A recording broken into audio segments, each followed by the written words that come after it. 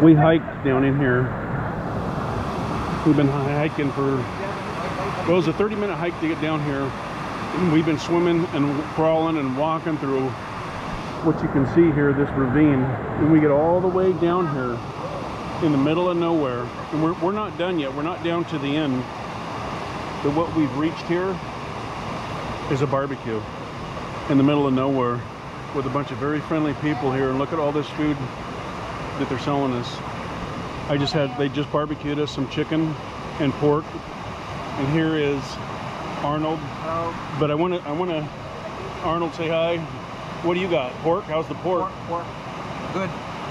But all this food that's brought down here is brought down that ladder that you can see that comes all the way up down.